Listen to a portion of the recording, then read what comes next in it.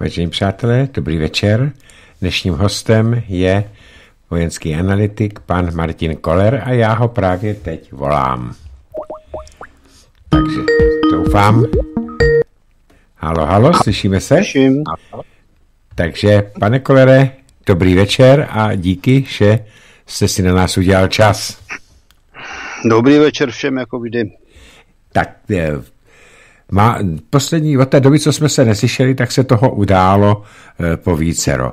Ale nejvíc bych rád slyšel váš komentář na to, jak ta záhadná skupina Milion chvilek dokázala na, pomalu naplnit staroměstský náměstí řvoucích paviánů e, proti e, jmenování ministrině spravedlnosti paní Benešové ačkoliv vůbec nic ještě neudělala, ani dobrého, ani špatného, tak už na ní hned po tom, co byla jmenována prezidentem Zemanem, požadovali ti, ti řvouni, aby dala demisi. Eh, jak to vidíte vy, tohleto? No, popravdě řečeno, problémů je tady celá řada. Za prvé tady máme stále jedno a to tež, to znamená, že nějaké zájmové skupiny placené bukvíky ze zahraničí ve směs se snaží, se snaží prosazovat svoje zájmy proti, řekněme, státu. Na druhé straně se nedivím, že tedy jsou proti v podstatě všemu, co vyhovuje premiéru Babišovi. Já v podstatě také patřím k jeho výrazným kritikům. Já? A co se týče eh, dalšího, no tak já musím říct, že u paní Benešové už řekněme blízký vztah k sociální demokracii, což je strana, která těžce prohnila. Takže takhle já nejsem pro takovéto nějaké bujaré demonstrace, které, které ostatně nic nezmůžou, protože naše politické spektrum eh, se dopracovalo k tomu, že na názor lidí v podstatě kašle. Ale na druhé straně by to asi chtělo objasnit řadu věcí, protože oni neříkají, proč by měla odstoupit jenom kvůli tomu, že ji najmenovali společně pan Babiš s panem Zemanem. No, říkám, já kritizuju pana Babiše velmi, pana Zemana někdy. Paní Benešová patří k ČSSD, takže není, není můj oblíbenec. A a takže pro mě, pro mě je v podstatě velmi složité se k tomu vyjádřit, protože já v ní nic zvláště pozitivního nevidím, na druhé straně v ní nevidím ani nic extrémně negativního. To, že oni svolali, svolali velké demonstrace, no to není nic nového, pokud máte peníze a ty demonstranty zaplatíte nějakým způsobem, aspoň teda ty organizátory, no tak se to prostě daří, no k tomu, je, k tomu je těžko něco dodat, to je jenom ukázka, kam jsme se vlastně ve státě dopracovali, jaký je tady rozvrat. Na druhé straně, jestliže mohou demonstrovat, jedni mohou demonstrovat jsem zvědav, kolik lidí by přišlo podpořit pana Babiše, když má haldu voličů. Já si myslím, že za deset let bude problém najít člověka, který přizná, že ho volil.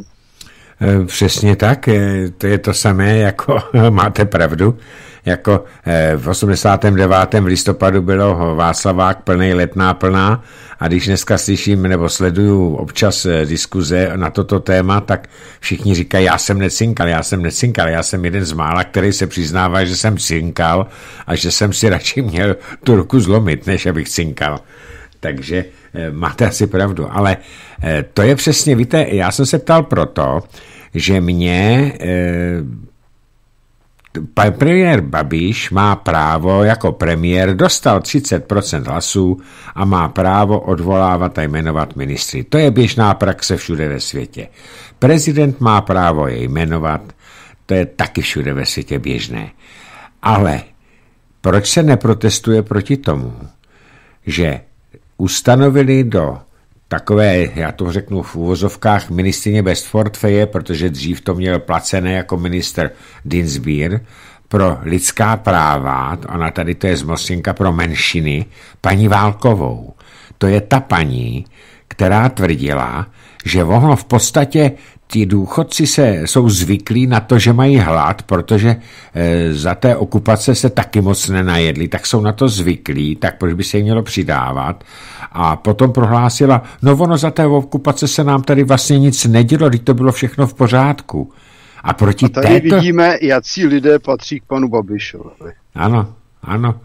Bývalá bývalá opravdu normalizační komunistka, ale proti tý se neprotestuje, pane Kolere, to je přesně to, čemu se divím. Proč se protestuje proti jedné, i když třeba oprávněně, a proč se neprotestuje proti druhé?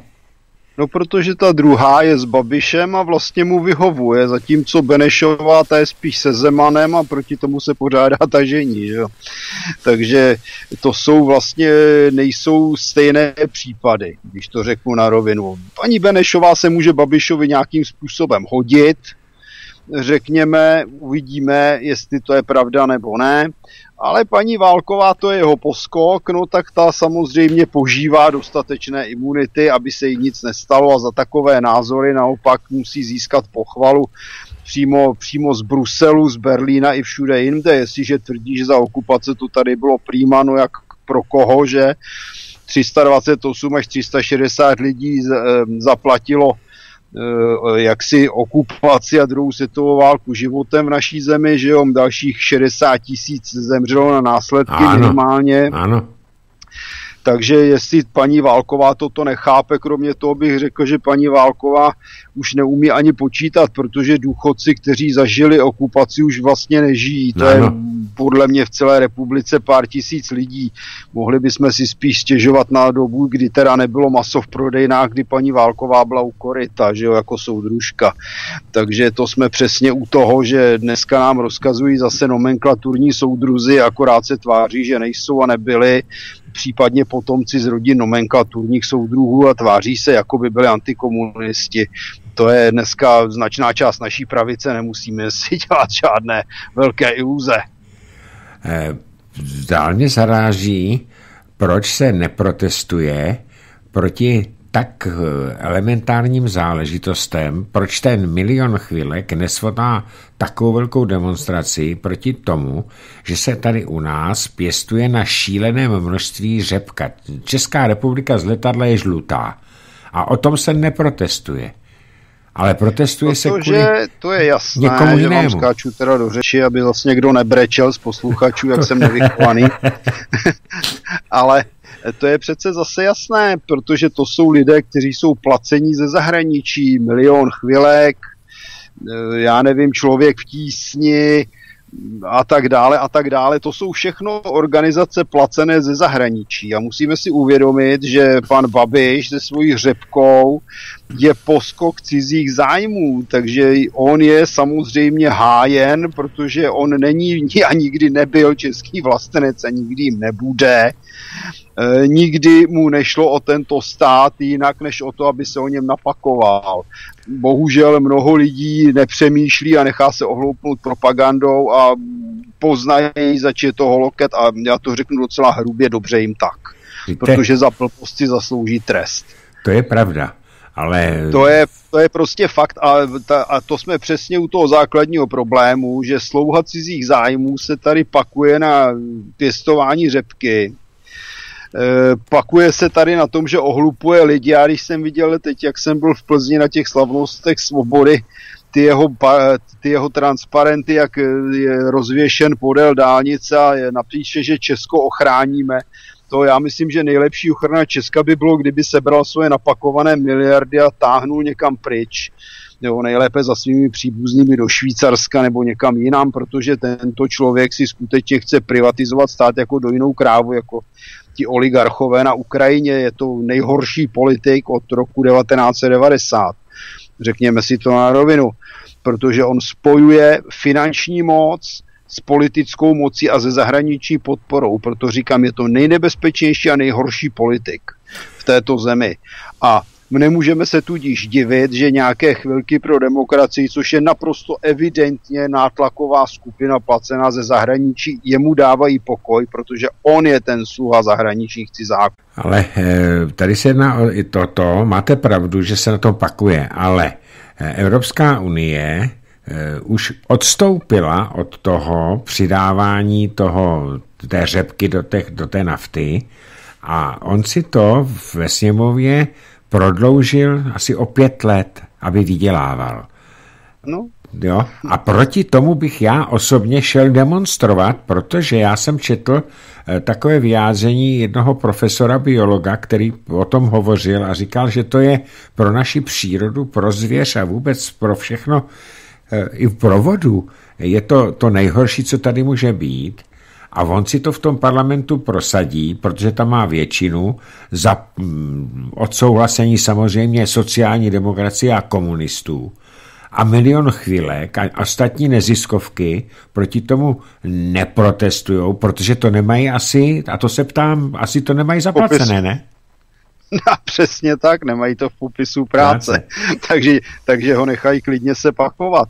Ale to je, to je přesně ono, protože navíc eh, tyhle ty takzvaní demokrati, ono je to v podstatě stále jedna parta, jestli demonstrují proti Benešové nebo proti Zemanovi, nebo já nevím, ve prospěch vál krajině nebo já nevím čeho, je to stále jedna tatá šparta, která je vedena vedena placenými odborníky, kteří je svolávají a organizují a tak dále. To je něco, co třeba v jinde v řadě zemí ani není možné v takovémto rozměru, ale bohužel v tom našem koloniálním chlívku se nemůžeme divit ničemu. Ale vy jste chtěl něco říct? Ne, ne, povídejte, já, já mám už další téma takové podobné na vás.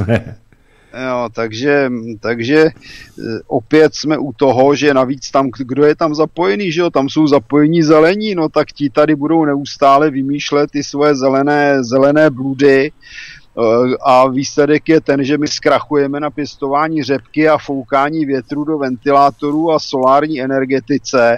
Eh, za chvíli prostě už lidi nebudou mít možnost ani si rozsvítit doma díky rostoucím cenám elektřiny, což samozřejmě náš nejlepší premiér od roku 1990 co si o něm myslí teda mnozí nemyslící, e, proti tomu nic nedělá, přestože by samozřejmě mohl, no tak e, on má vlastně podporu a to je přesně ukázka toho, proč my musíme pryč z Evropské unie, kdyby jsme byli normální a nezávislý stát, tak by jsme se mohli toho ekologistického teroru zbavit.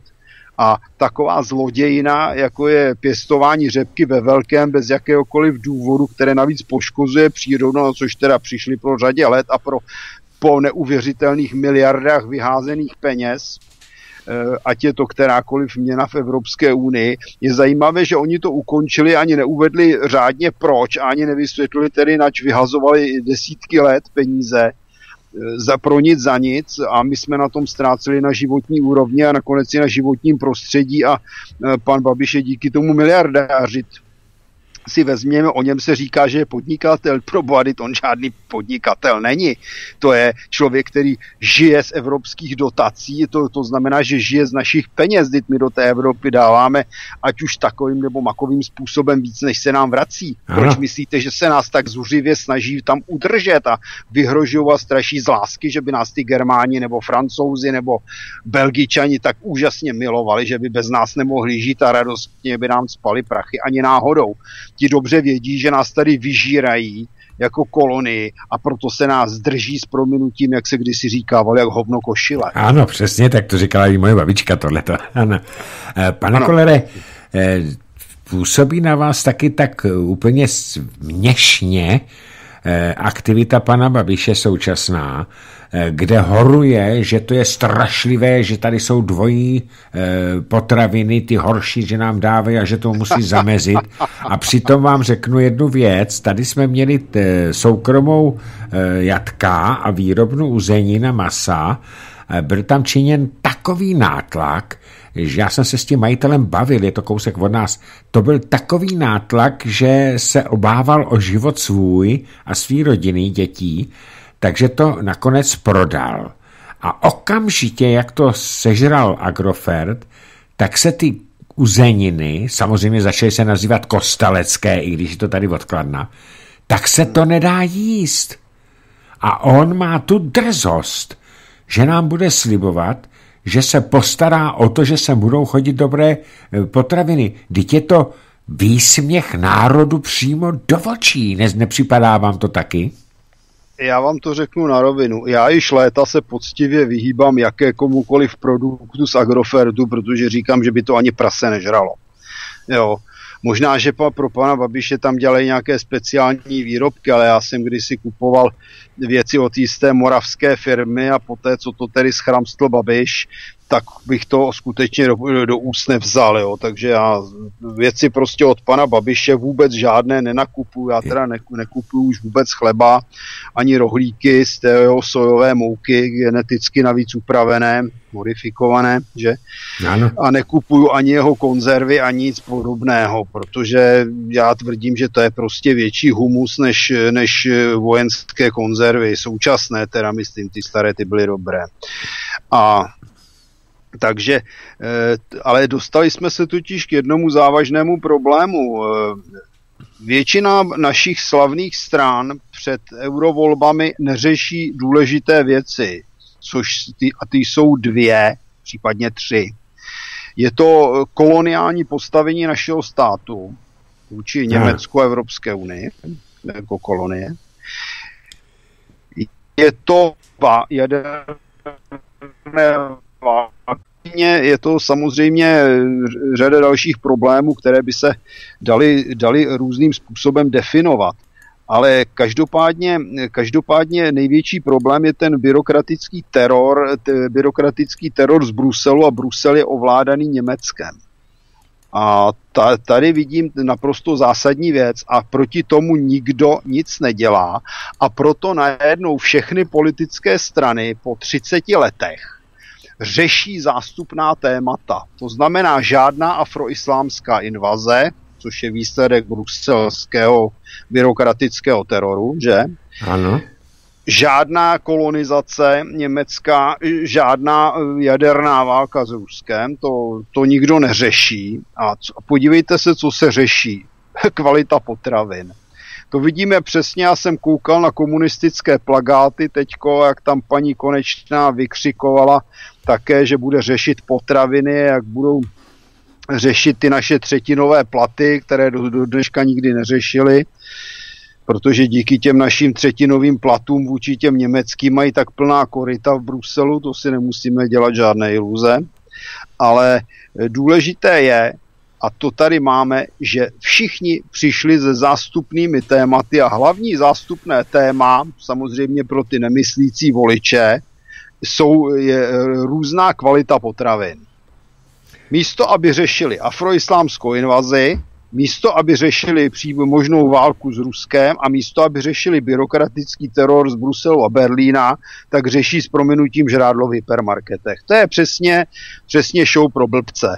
A výsledek je takový, že ti blbci budou volit. To, to, je, to je největší problém.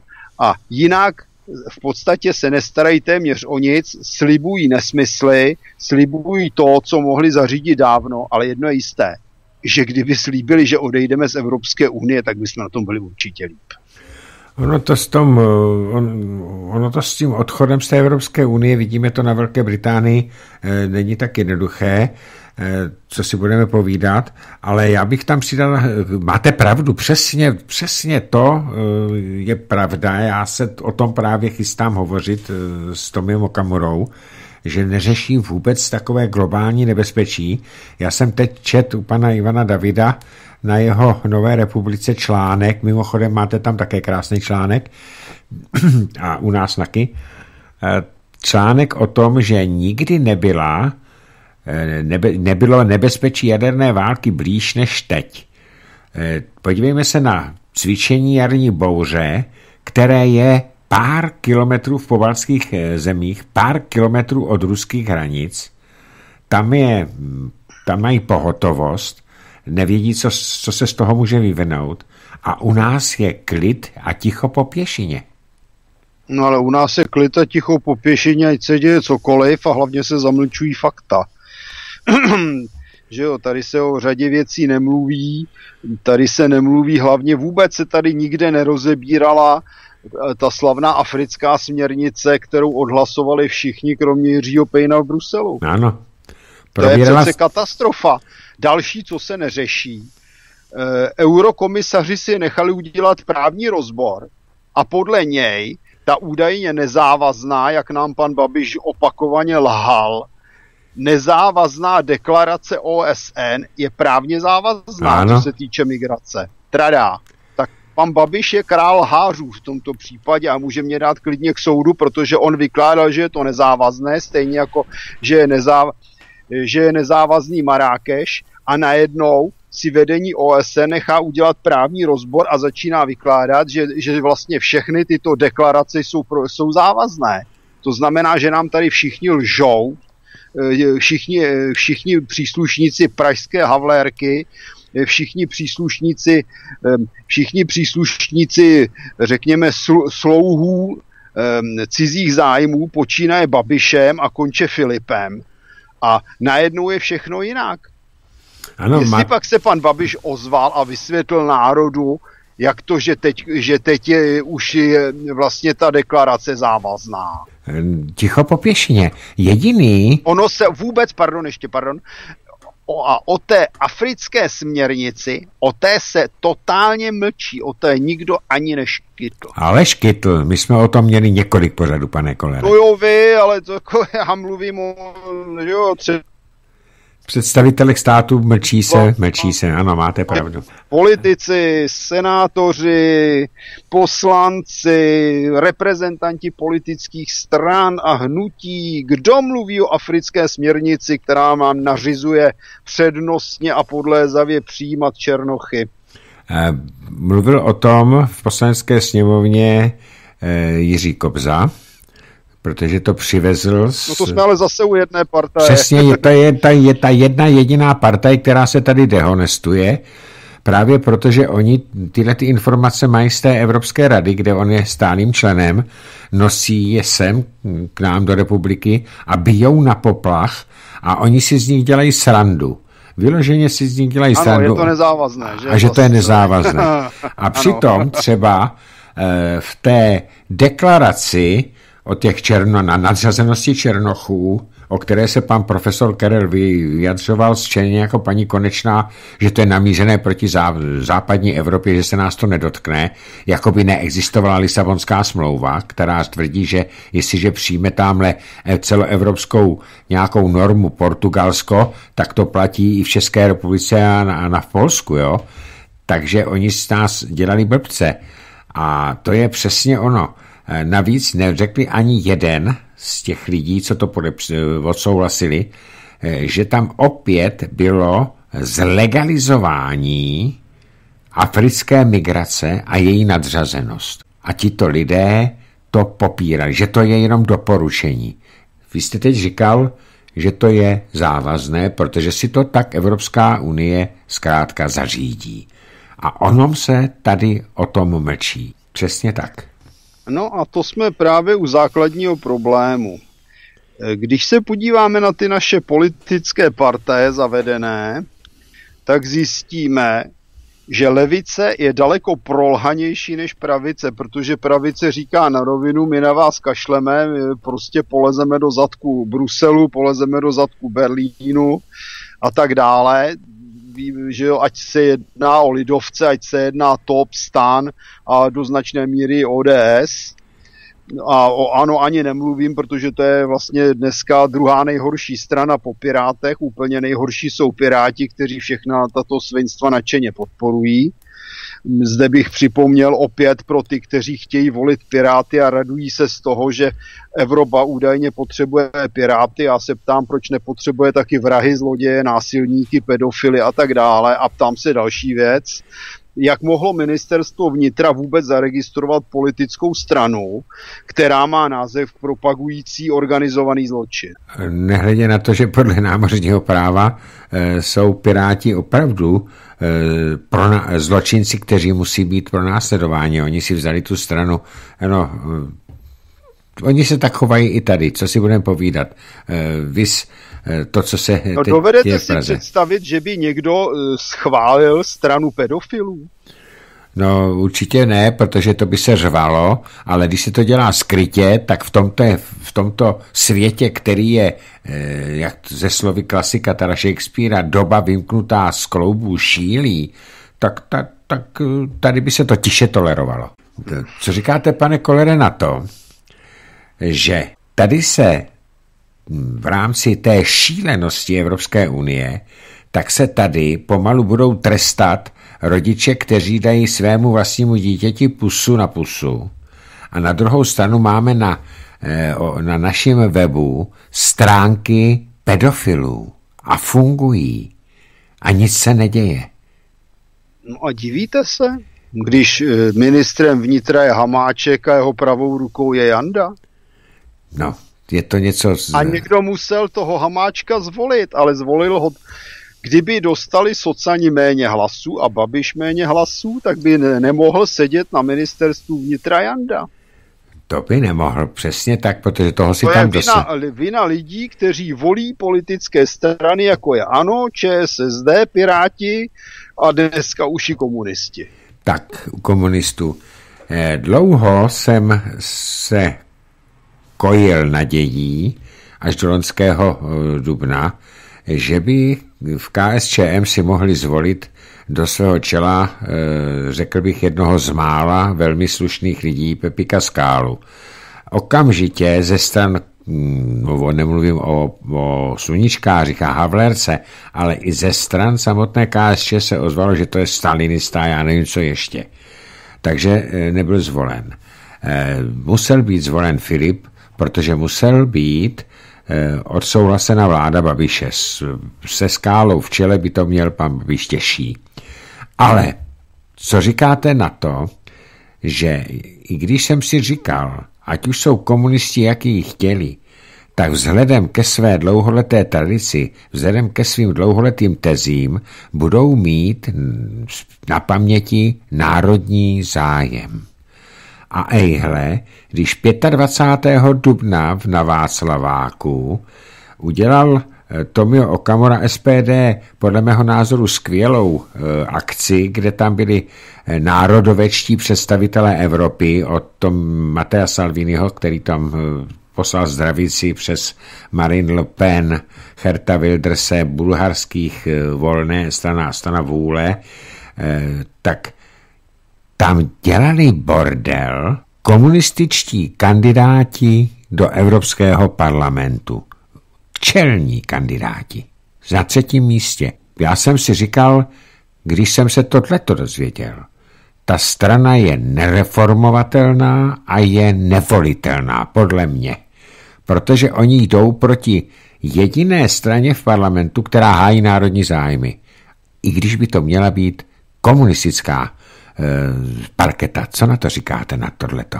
No ta komunistická strana především eh, není komunistická jako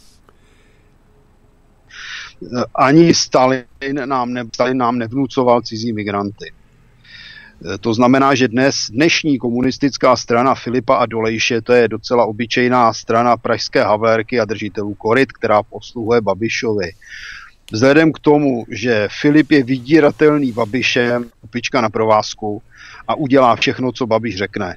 Tím pádem je skutečně současná komunistická strana nevolitelná, protože má nevolitelné vedení. Ano. Je to škoda všech slušných komunistů, protože já jsem se se slušnými komunisty v životní praxi setkal, možná, že tomu někdo nebude věřit, ale byli a bylo jich dost ale tito lidé jsou názorově úplně někde jinde než pan Filip, pan Dolejš, paní Konečná a další, z kterých se stali sprostí sluhové cizích zájmů, komedianti, kteří se ještě možná chvíli tváří, že mají něco společného s Ruskem, ale ve skutečnosti jsou to poskoci Bruselu a Berlína. Máte pravdu, já to cítím taky tak. Eh, Další věc, a teď už zase z další, eh, dalšího ranku, jiného ranku.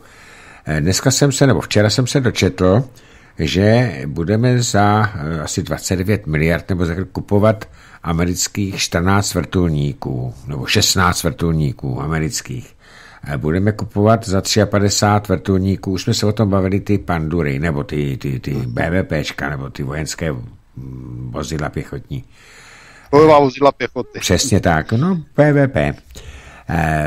Pane Kolere, potřebuje naše operetní armáda tolik peněz vrážet do toho, do té výzbroje, aby to skutečně využívala, a nebo to je jenom plnění zadání pana prezidenta Trumpa, aby vydělali americké zbrojní a zbrojářské koncerny, který nařídil každému členskému státu, eh, myslím státu členskému v NATO, zvednout eh, náklady na zbrojení na 2% HDP. No, především prezident Trump nic nenařídil. To byla dohoda, o které se dohodli politici různých států a kdyby naše republika se k ní nepřidala cestou svých reprezentantů, řekl bych, že hlavně asi pan Šedivý, který pomalu končí jako velvyslanec při NATO, který pro naši stranu jakožto vyslaný reprezentant ODS nikdy nic dobrého neudělal. Bude ho tam e, měnit, e, Ježíš Maria, je to syn toho herce, co hrál Majora Teraskyho. Landovský. Landovs, mladý Landovský, protekčňák z ČSSD.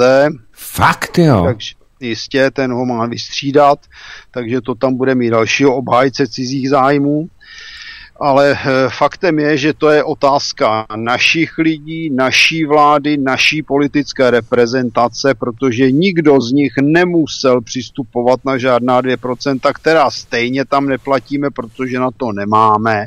A pokud naběhne krize, tak na to zaručeně mít nebudeme. To je první věc. Druhá věc, armáda se průběžně přezbrojuje v každé zemi, ať je operetní nebo ne. Ukažte mi v Evropě armádu, která není operetní, myslím v Evropské unii. Všechny. Já bych řekl, že všechny.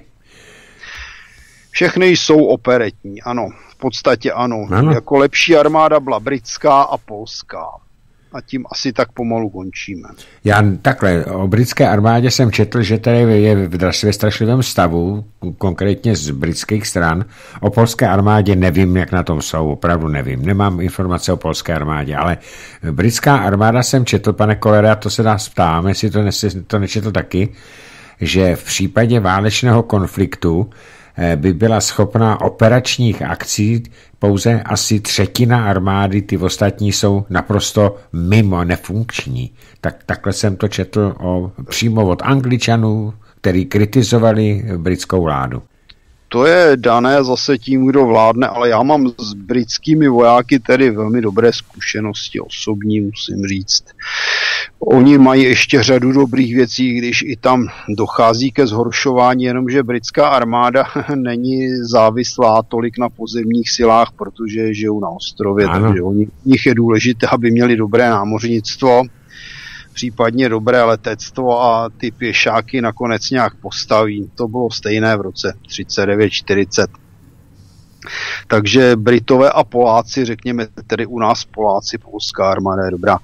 Ale obecně samozřejmě operetní armády, to jsou ale nicméně takhle, všechny armády průběžně přezbrojou, si budeme ta BVPčka pořizovat před deseti lety nebo po deseti letech, není až takový rozdíl, ale faktem je, že že ta výzbroj nestojí za moc a je třeba ji modernizovat a konec konců, jestliže chceme mít aspoň nějakou bojeschopnou armádu, tak se to udělat musí, ať jsou to ty vrtulníky, protože takhle, to, to je politické zadání, ty vrtulníky, ani to není tak politické zadání ze Spojených států, je to obecné politické zadání, že se nemá nakupovat eh, materiál z Ruska, ono to má turbovrtulové motory, které se vyráběly na Ukrajině, nebo tedy vyrábí na Ukrajině, ale oni je nemohou sem zobchodovat na základě mezinárodní motory a výsledek je takový, že vlastně ty motory, že jo, po té, co jim končí životnost, by nebylo čím nahrazovat. Mm-hmm. To je politické zadání, kdy Rusko bylo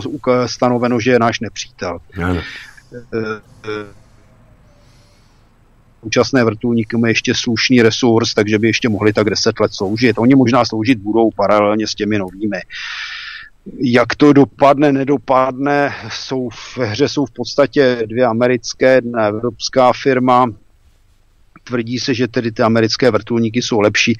Je to možné, já se tím budu někdy taky zabývat písemně ještě, ale mm, řekl bych, řekl bych, že nakonec situace bude taková, že se koupí to, co bude tak nějak za prvé vyhovovat parametry a za druhé to, co bude vyhovovat z hlediska servisu a to je poměrně důležité a v toho, z tohoto hlediska zase jsou američani, co se týče servisu i z globálního hlediska lepší. Já jsem, já jsem měl na mysli to, jestli to vůbec uh, potřebujeme. Když říkáte, v tom že případě to zrušme armádu. Uh, já jsem četl, a další otázka, já jsem četl, že kdyby došlo k nějakému napadení naší republiky kýmkoliv, tak eh, že naše armáda by byla schopná asi 14 dní ochránit území okolo Prahy, ani ne celý středočeský kraj. Co to jsem tom? psal já a napsal jsem, že naše armáda je schopná ubránit po dobu 14 dnů území o rozloze jednoho kraje, což je dané jimi počty a standardními taktickými, taktickými formacemi v obraně. Takže právě eh, druhá věc je, Zdali no ale se... v tom případě, jestli tedy chceme bojeschopnou armádu, tak ji musíme, na, aby nás chránila celé, tak musíme zvýšit opět na 200 tisíc vojáků a patřičně vyzbrojit. A to je právě to, co já jsem vyčítal, že jsme ji zrušili, tu armádu. A kde byste na ní sebral lidi? No a kde se na ní sebrali lidi dřív? Byly povinné odvody. Dřív byla, ano, dřív byla jaksi braná povinnost, ano. takže ať lidi chtěli nebo nechtěli, tak museli namašírovat. Ano, armády. přesně tak. Vždyť se to nemuselo rušit přece. Udělalo to... Ale teď to, svo, teď to zrušili politici, kteří si naši voliči zvolili. Ano, zrušil to jeden z těch, který se o to vehementně byl pan Vondra který se a za to za To není jenom záležitost pana Vondry. Pan Vondra sám o sobě by s armádou neudělal vůbec nic, protože to byl obyčejný ministřík v něčí vládě. Jako změnit takto armádu nemůže jeden minister, to musí projít zákonem. Hmm, to je ano. první věc, to musí odhlasovat sněmovna, schválit senát. Takže to není záležitost jenom nějakého Vondry. To je první, co je třeba zdůraznit. a zase jsme ano. toho, lidi blbě volili, mají malou armádu. Teď lidi blbě volí, mají na krku Babiše a Piráty a budou se divit. Eh, zeptám se, pane Kolere, jak je to v Polsku? Mají v Polsku povinnou, teda braný zákon a povinnou vojenskou službu, nebo to mají taky jako my? Ne, ty mají profesionální armádu jako my, ale Poláci jsou výrazně nacionalističtější, nenechali se tak ubít, nemají tam vyloženě pražskou havlérku, tak a je to velký stát, na který už si Evropská unie dává docela pozor, na ně si netroufne tak jako u nás a není tam tolik politiků, kteří jsou slouhové cizích zájmů a nikdo jim tam moc necpe migranty, raději, aby se nenaštvali. Jo, takže tam ta armáda je poměrně dobrá. Já musím říct, že Poláci jsou dneska z té východní nebo teda středovýchodní části Evropské unie nejlepší. Máme vůbec tady v Evropě někde stát, kde je všeobecná braná povinnost a je tam ta veliká armáda? Nebo ne. už jsou to jenom profesionální armády a no, jako v Evropě, v Evropské unii určitě ne, no a můžeme mluvit o Švýcarsku, které má takový poměrně zvláštní systém, že jo, ale ano. ten je daný historicky a ekonomicky a tak dále. To je systém, který u nás by se nedal realizovat. Nedal realizovat, protože by eh, ani ty vlády nechtěli rozdávat automatické zbraně lidem. Oni by se mohli totiž Ale... ty lidi naštvat a jít proti ním. no, oni by se lidi postřeli po první ves, vesnické pitce. Nebo tak. A, ani by se nemusel dělat politický převrat, jako u nás a ve Švýcarsku je úplně jiná mentalita. Je to tak za prvé a za druhé, oni to tam mají historicky daný hodně dlouho, ano. Je to tak. Eh, nedávno jsem četl, pane Kolere, eh, že by měly přijít americké válečné lodě do Černého moře, oni už tam dokonce nějaké jsou. Tam jsou. Ale že by se tam měli vecpat do Kerského průlivu. Na to reagovali, eh, reagovala ruská strana. Tenkrát Šojgu prohlásil, že si Rusko nenechá e, vydírat těmi, že by přijalo protiopatření. E, myslíte si, že by tam přesně v tom kerském průlivu, eh, že by tam mohlo vzniknout eventuální ohnisko nějakého konfliktu? tam by mohla vzniknout třetí světová válka. Ano, to jsem měl na mysli. Já jsem se to bál říct, abych nepoplašil oni lidi. Taky, ale oni taky američané s tím přestali, protože tady si musíme stále a dokola připomínat jednu věc. Prezident Trump nechce válku. Ano, to nechce. úplně jiní. Hmm, ano. Pokud bude vládnout republikánský prezident a především Trump do budoucna nebude válka. Ať už se řeční cokoliv a vykřikuje cokoliv, Trump má kolem sebe vojenské odborníky, podporuje ho vojensko-průmyslový komplex, což je název, který vymyslel prezident Eisenhower kdysi. Hmm, hmm. A tito lidé vědí velmi dobře, že, ta, že by došlo k válce třetí světové pouze ve formě jaderné války. A do té se jim nechce, protože ani ti generálové nejsou tak vysoce postavení a vyvolení, aby přežili. Hmm, hmm, hmm. Ano, já jsem nedávno četl takový článek, eh, popravdě řečeno, když jsem věděl, že se budeme o tom bavit, eh, kolik, kolik eh, jaderných hlavic je v Evropě, amerických jaderných hlavic je v Evropě. A byl jsem zhrozen, protože jich tady je asi 16 tisíc. To je strašlivé To je číslo. To je naprostá blbost. To je naprostá blbost. Já jsem to někde četl. No tak to napsal někdo, kdo lhal. Protože 16 tisíc hlavic mají možná kompletně spojené státy sakum prdum s prominutím i s tím, co mají doma ve strategických silech. Mám dojem, že jich není ani tolik. Já mám takový dojem, že celkový počet jaderných hlavic, které drží spojené státy, asi 8,5 tisíce. Vidíte, a tam psali přes počet 20. mají rusové. Co? A tam psali, že jich mají asi 24 tisíc. Ale to je blbost. Tak aspoň... To je lež prostě. To je stejná lež, jako já jsem viděl nedávno článek e, na jednom nejmenovaném serveru, ze kterého čerpají mnozí, že v, e, že v České republice je 2% muslimského obyvatelstva. No, Je tady 200 tisíc muslimů podle vás? no já bych řekl, že ne. No vidíte. A takovéhle hovadiny, to, že někdo někde něco napíše, ještě neznamená, že to není blbec a nepíše blbosti. Mhm. Ale Spojené státy prostě nemají 16 tisíc hlavic a určitě nemají v Evropě. Ale v, že je mají v, v té největší základně v Itálii a v Německu, to snad je pravda. Dobře, můžou je mít na Rammsteinu, můžou je Ano. mít v Aviánu, Ano. ale to budou desítky kusů. A mm, Rusové mají přibližně stejný počet těch Ano, víceméně, co se týče strategických sil, tam je to v podstatě stejné, plus minus pár kusů, a co se týče těch nestrategických sil, tam je to plus minus přibližně taky stejné. Mhm. Tady je třeba si taky uvědomit, že oni se musí ty jaderné lavice asi po 30 necelých letech obměňovat, protože se to musí vlastně celé prohnat výrobním procesem znovu, aby to fungovalo. Jo. Ale rozhodně američani nemají v Evropě 16 tisíc hlavic, to je prostě lež. No, Zaplať pámbu. No, stejně eh, četl jsem taky, že je na celém světě, teď myslím ve všech jaderných mocnostech, tolik jaderných zbraní, že by to stačilo zničit země kouli třikrát. Mm, My totiž vůbec nevíme, kolik těch hlavic je. No právě, ale tohle to jsem Amerika taky a četl. Rusko mají dohody o strategických hlavicích, kterých mají nějakých 17, 1800 kolem toho, to nějak vybruje plus minus. Říká se, že oni jich něk- někde nemají ani tolik, kolik se uvádí, protože, jak říkám, se to musí transformovat a tak dále. A potom je asi těch 8,5, 8, 8,5, 9. Kdyby jich měli 12 podle nějakých odhadů, každá strana tisíc.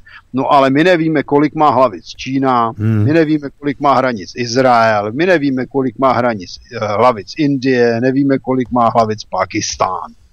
No, jediný, kdo udává ještě ty hlavice, teda řádně jsou Britové a Francouzi. Ano, ty mají taky nějaké, ale nevím kolik teda, bych se přiznal. Tam je toho málo, to, to, to jsou v řádově, to je ve stovkách maximálně a ty jsou sledovány.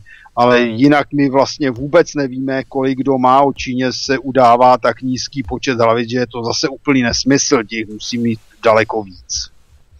Ano, já jsem zase taky někde čet a ptám se na váš názor, protože říkám, já sbírám informace tak, že se je dočtu někde, že Čína se ve zbrojení a utajeně, aby níž bych o tom někde něco říkala, takže teď se dostává na úroveň obou těch velmocí, tedy Spojených států a Ruska.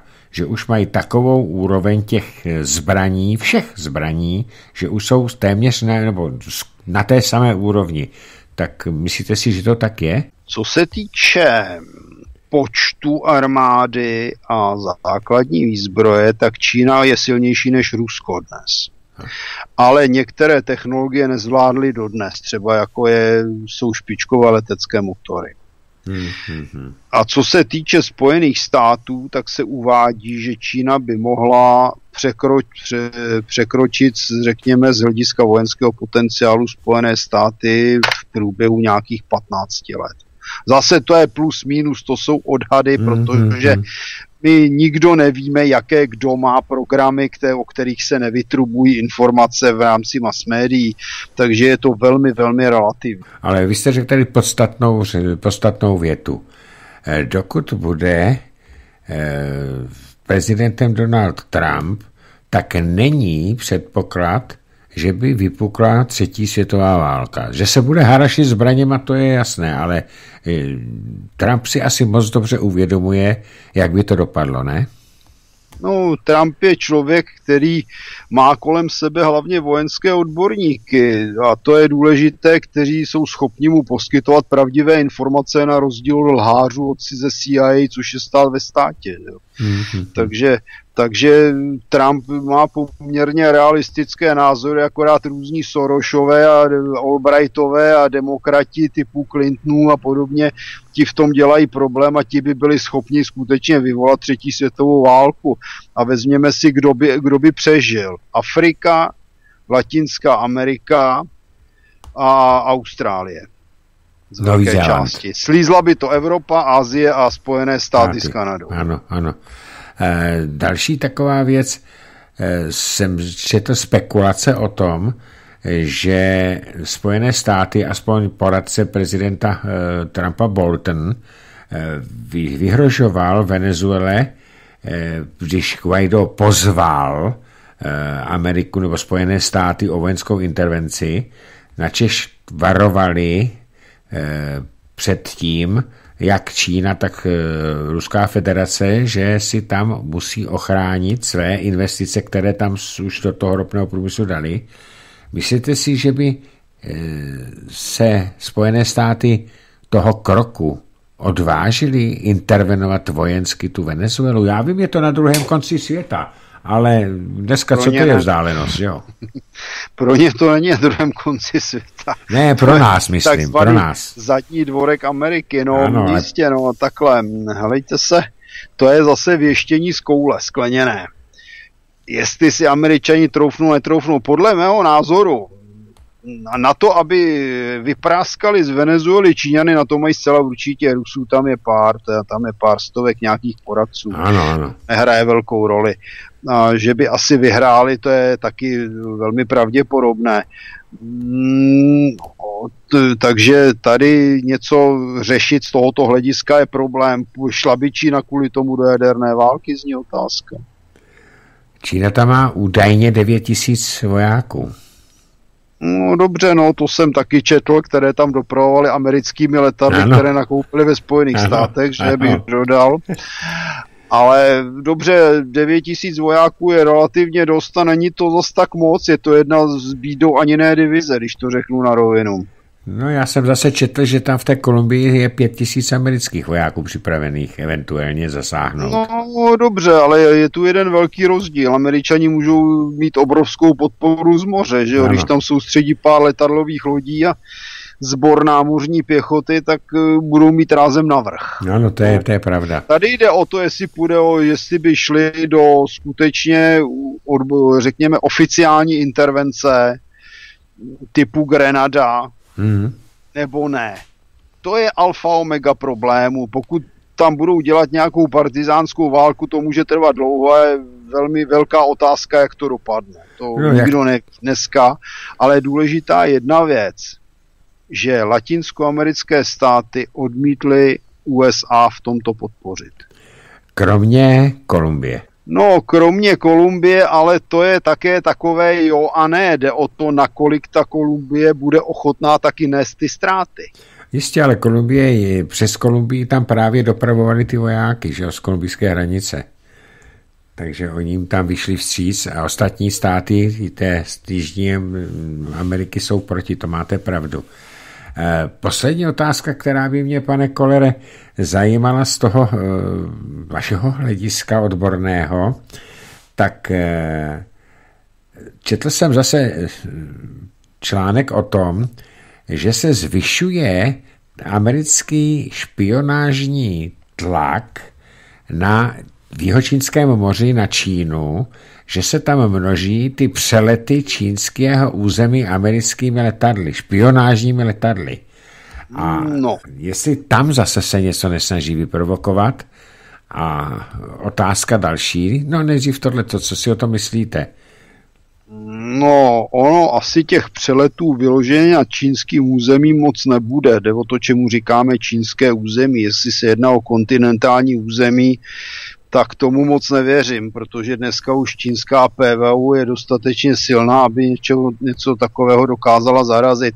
Jestli se jedná o nějaké lítání nad jejich um, výsostnými vodami 120 mílovými, pokud mluvíme tedy o vodách z hlediska výhradního ekonomického zájmu, to zase není takový problém, to se děje naprosto běžně. Eh, oni tam stavějí ty umělé ostrovy a nad nimi právě ty letadla lítají. Eh, oni vyhrožují Číňani, že eh, zkrátka je tomu zamezí. Tak, tak to je možné. To je možné, že se něco takového stane a uvidíme, co bude. Co to bude. Eh, další takový problém... Jako, já bych si s dovolením doplnil, zrovna teď jsem někde zachytil zprávu, že z těch nových letounů F-35 je pouze třetina bojeschopných, což už samo o sobě mluví za mnohé. A jak jsou na tom ty, ty nové eh, SU-50? Vy myslíte SU-57? 57, ano, ano, ano. Já no, jsem to viděl 57 teď jde do sériové výroby, no tak snad konečně do, dorazili problém motorů, který se tedy táhnul neuvěřitelnou dobu. Takže uvidíme, no oni tím, že spolupracují s Indií, si pomohli finančně, Indie by měla být uživatel, Číňani mají vlastní letadla této kategorie, jak ta letadla fungují a nefungují, to ví pámbu, protože to nedokáže nikdo ověřit, ale hmm. když byla nedávno ta střílenice nad Kašmírem mezi Indy a Indy a Pakistánci, tak jim to letadlo Indové chytili na radaru, takže no. těžko říct, že tam se právě čínské letadlo motalo někde u hranic a Indové ho varovali, aby tam nele, nelezlo, protože se tam bojuje, aby náhodou prostě nechytilo nějakou raketu. Mm-hmm. Takže, takže to je skutečně otázka a ty Su-57, jak jsem již teda řekl, ty, by, ty ta, tam se rozjíždí konečně tedy po letech sériová výroba. výroba. A vypadá to letadlo hezky. To je jedinec. Letadlo vypadá jak americký, americký F-22 Raptor. Jako Raptor, ano. Ano, tam to taky pozorný. Eh, poslední otázka, ne, poslední otázka, ale jedna ze závažných otázek. Hodně jsem slyšel o tom, že teď se vyvíjejí zbraně, které nejsou konvenční a které eh, by měly být při eventuálním eh, konfliktu světovém, kdyby byl za delší dobu rozhodující. A to jsou ty zbraně, které by měly v podstatě za prvé vyřazovat veškeré elektronické systémy nepřítele a za druhý jsou tam vytvářeny zbraně, které by měly změnit myšlení nepřátelských vojáků. Eh, já jsem to považoval spíš za konspirativní takovou teorii a ptám se odborníka, jestli se něco takového vůbec eh, vyskoumává, zkoumá, nebo jestli takového něco je možné. No, co se týče vyřazení elektronických systémů v případě jaderné války, slabší jaderný výbuch zlikviduje elektroniku na vzdálenost 30 km. Bez použití jaderných zbraní, s nějakým zařízením. No, zařízením existují samozřejmě nebo spíš se testují e, systémy, které směřují energii, které by mohly třeba vyřadit z provozu motor auta, to existuje. Mm-hmm. Zrovna tak existují různé typy rušiček, které vám vymažou spojení, existují systémy, které vám můžou, řekněme, rozhodit nebo poškodit komunikační systémy, na kterých je dneska každá armáda závislá, to existuje. Ale zase nevíme, v jaké fázi sériovosti to je a není, protože on v posledních letech vždycky někdo vyleze s nějakou novinkou, kterou má v jednom kuse a s tou se radostně předvádí a straší.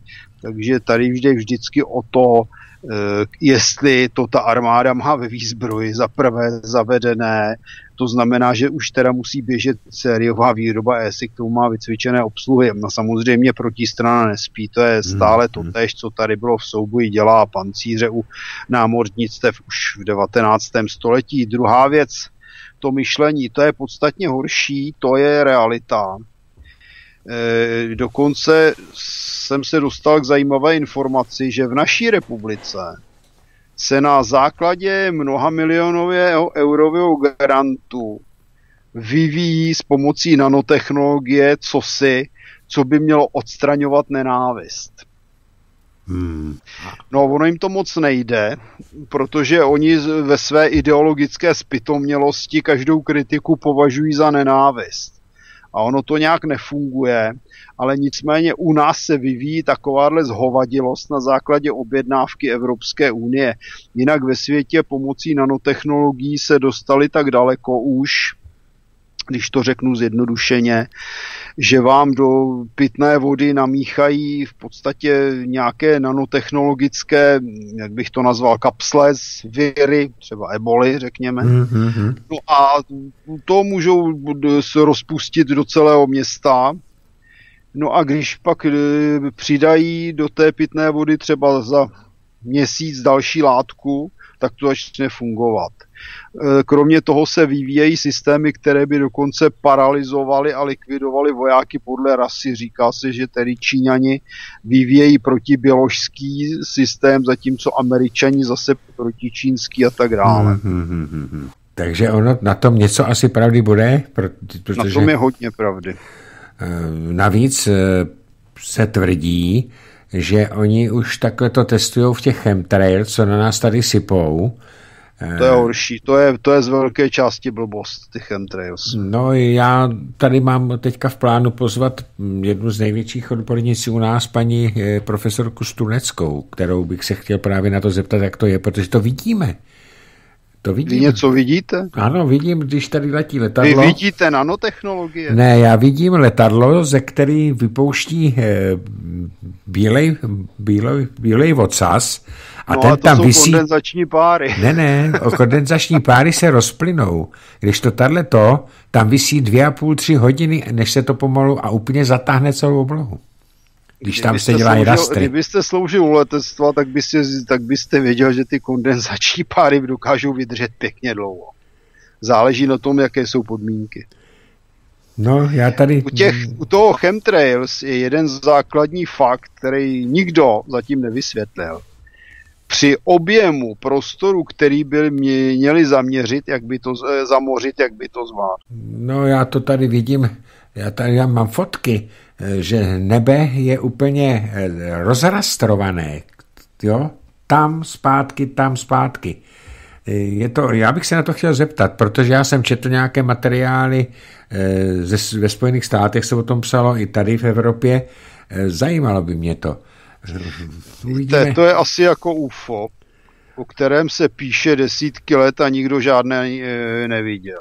Tak já na UFO nevěřím, protože přesně to, píše se o tom už od konce 19. století, první zápisy byly a už u konce v 16. století se tam něco takového psalo, ale tady to vidím sám, no nic. E, pane Kolere, dáme si teď do čtvrt na devět přestávku a potom budeme pokračovat povídání, ano? No ano. Tak pouštím muziku. A volám pana Martina Kolera. Slyšíme se, pane Kolere? Ano, slyším vás. Takže ještě jednou dobrý večer a hned na začátek musím bych? se přiznat, že jsem vypustil eh, hoax těch eh, hlavic by mělo v celé Evropě být 1600, podle toho, co tam... Amerických nebo celkově? Všech celkově, celkově. No, to by možná, možná mohlo být, pokud by se započítali taktické hlavice. S tím, že tam Spojené státy teďka navyšují počet eh, těch hlavic do Evropy, takže konečný počet je odhadován na 1600, takhle přesně to bylo tak, aby mě eh, někdo ne, že jsem, já jsem se splet, 1600. No tak to, říkám a kromě toho musíme si připomenout, že američané se stahují ze základem z Turecku do Řecka a do Kosova. A do ano, Itálie. Ano, ano, a tak tam tu asi z toho eh, tam byli taky. Tam byli taky. Takže takhle to bylo, takže to uvádím tak na pravou míru. Já jsem si teďka podíval radši o přestávce, abych nekecal. No, tak. já bych se ještě k těm chemtrails, protože to je totiž jedna docela zásadní věc, která se tady řeší opakovaně až do aleluja. Za prvé, co rozprašují, nikdo neví. Nikdo ne. To přece není možný. To už by někde vylezlo. Druhá věc, co na to Rusko? Reakce nula. A připomněl bych jednu věc, já jsem se o tom bavil s lidmi od letectva, konec konců jsem končil jako letec. I když ne teda pilot, abych zdůraznil to, pilotovat jsem se učil akorát u svazarmu. Ale Bavil jsem se o tom s lidmi od letectva, existuje určitá praxe z chemické války letecké ve Větnamu, a nejenom ve Větnamu. A e, pokud se má úspěšně zamořit nějaký prostor, tak ta letadla musí letat nízko. Ty chemtrailsy údajně letají ve velkých výškách. Ano, ve velkých výškách, ano. Tak, a teď si představte, máme věci jako vítr, stoupavé a klesající proudy, máme déšť, máme mlhu. A teď si vemte, že vám tyto, tyto faktory začnou působit. Tím by se ten materiál rozprašovaný naředil neuvěřitelným způsobem. Podle lidí od letectva prostě ty chemtrails jsou něco jiného. A jak říkám, co rozprašu? Nikdo neví a přitom se to děje léta. Hmm, podle mého názoru, a nejenom mého, tam nejde o nějaké chemické zasypávání lidí nějakými svinstvy, ale pravděpodobně se jedná o testy nějaké protiradarové mlhy nebo něčeho takového, mm-hmm. co by zamezilo sledování eh, pomocí, pomocí technologických prostředků. Eh, jinak, eh, pane Kolere, o tom chemtrails hovořil i prezident Zeman, který nabádal, že bychom se měli jako republika snížit počet na, o 30% a další info, toho rozprašování těch chemtrails. A Ale prosím vás, já jenom co se týče nechci pana prezidenta urazit, ale co se týče vojenských otázek, tak rozhodně on vojenský odborník není. Já neříkám, že je, já říkám, že, že jsem to slyšel a navíc je to nad Ruskou federací zakázaný. No to je logický, že jsou tam zakázaný přelety amerických letadel, to snad nikoho neudiví. No. Ale e, já vycházím z jedné věci, že by se k nám dopracovali svými kanály informace z Ruska, z Izraele a z dalších států, kde nejsou úplně pitomí a vědí, co se děje. A nic takového se nikde neobjevilo. Zatím ne, to máte pravdu. Nikdo neví, co se rozprašuje, hmm a s velkou pravděpodobností se vůbec nejedná o chemické látky, které by nějakým způsobem ohrožovaly lidi. Kde vidíte výsledky? E, tak vemte si, že jsou to samozřejmě teda jenom teorie, ale e, ohromný nárůst, protože tohleto kropení, tomu říkají ve Spojených státech, tak tam je nárůst o 1600% za eh, autistických dětí za posledních, já nevím, 10-15 let.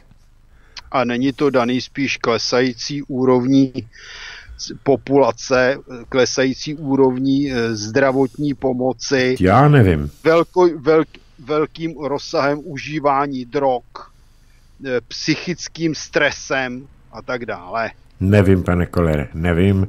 Jenom říkám, co jsem se dozvěděl. Mimochodem už prezident de Gaulle. Eh, jinak eh, jsem se dost, teďka dostal jsem tip na paní profesorku Struneckou, já se ji pokusím, pokusím kontaktovat a budu si o tom povídat s opravdu ženskou vědkyní, která se tím zabývá, uvidíme. Tak. Kromě toho, já bych ještě doplnil jednu věc, a e, jaký je pozitivní výsledek toho, že přibývá autistických dětí? E, žádný pozitivní výsledek není, jenomže ty děti nebudou mít pravděpodobně vlastní potomky. To nemají ani mnozí jiní, na to nám stačí genderová revoluce. Takže uvidíme. Na to no. nepotřebujeme no. nikoho kropit. Ale fakt je ten, že někdy to lítá, někdy to nelítá. Někdy vidíte letadla, že mají eh, ve stejné výšce letě, mají krátký ocas a hned se to rozplyne a jindy to tam za ním a vysí třeba tři hodiny a vysí to tam furt a pomalu se to rozšiřuje. A je tam úplně rastr na tom, na tom nebi. Takže to, lidi to vidějí taky. Ale mě by no, zajímalo ještě... vidí, ale nevědí co. No, právě proto se budu muset obrátit na, na tu vědkyni. Eh, no, když mi prozradí, co ty letadla sypou, budu nadšen. Uvidíme, já bych vám dal potom vědět, pane Kolere. Jestli se teda bude chtít se mnou o tom bavit, ale asi jo. Eh, poslední otázka, než dáme prostor posluchačům. Eh, já jsem dneska viděl fotku, kterou pořídili Donbaští na, na, na linii dotyku, Donbaští, ty, ty, ty domobranci, pluk Azov vyvěsil klasickou nacistickou vlajku na jednom svém palpostu v nějaké té vesnici, jejíž jméno si nepamatuju. Takže se otevřeně Ukrajina přihlásila k dědictví Třetí říše, včetně teda symboliky. To není ale nic nového, to už se tam děje několik let. No ale zatím jsem tam neviděl klasickou nacistickou eh, vlajku, tu s hákovým křížem, eh, tu, kterou měli eh, na těch svých budovách a všude. Tak. No ale to tam bylo, jenomže oni to potlačili nějakou dobu, to byl, to byl ten Petro Jaroš a další, hmm. no, tak oni je, oni je v podstatě potlačili, takže zalezli, ale teď je na Ukrajině taková situace, že tam vlastně neví se, kdo vládne. Protože tam došlo k tomu, že tedy vyhnali čerta Porošenka a nahradili ho ďáblem Kolomojským. Jako ano. Ukrajinci si úžasně pomohli. To je stejné jako naši voliči vezmeš Lenkoviče, volí Babiše a Piráty, výsledek je stejný, protože Porošenko byl lump, nebo tedy je lump zcela určitě, ale nicméně nicméně měl určité limity. Zatímco za Kolomojský stojí za tou vraždou v Oděse a údajně stojí i za tím sestřelem toho dopravního letadla. A to, že před sebe nastrkuje nějakého kašpara Zeleňského, to je mm, v podstatě vedlejší záležitost. Mm, jo? Protože e, vlastně jeho kašpárci byli Zelenský a Timošenková a Timošenková musela zase couvnout a nechat korito Zelenskému, protože je to patrně úspěšnější šašek. Ano. Ale v podstatě volby vyhrál oligarcha Kolomojský, který se po ozbrojeném střetu svých banditů z bandity Porošenka schoval někde ve Švýcarsku nebo v Izraeli. Ano, on se schoval ve Švýcarsku, aspoň takové mám taky informace. Máme tady, pane Kolere, první telefonát. Dobrý večer, slyšíme se? Dobrý večer, pane Kapale, zde Pepek z Podolí. Zdravím váženého hosta pana Kolera, zdravím Dobrý rodinu, večer. zdravím rodinu Svobodného rádia a měl bych dotaz v oboru vojenské historie. Můžu? Ano, povídejte. Tedy eh, dotaz na vás oba. Eh, malinký stručný úvod. Na brat, bratském eh, i rádiu proběhla diskuzní debata, kde byl přítomen jako host nějaký pan Puškáš nebo Puškár nebo Puška, uniklo mi to trošičku, a ten si přečetl eh, memoáry jakéhosi generála Suvorova, který přeběhl od Sovětského svazu k Američanům a tam vydal paměti. Její hlavní poslání je nenechat nitku dobra na osobách eh, Stalin a eh, maršál Žukov. A tam mě zaujala jedna informace, že prý údajně Žukov v první polovině 50. let, než odešel do penze, zorganizoval obrovské vojenské cvičení s 35 tisíci vojáky, na které schodil atomové bomby a pak pozoroval co se s těma vojákama děje.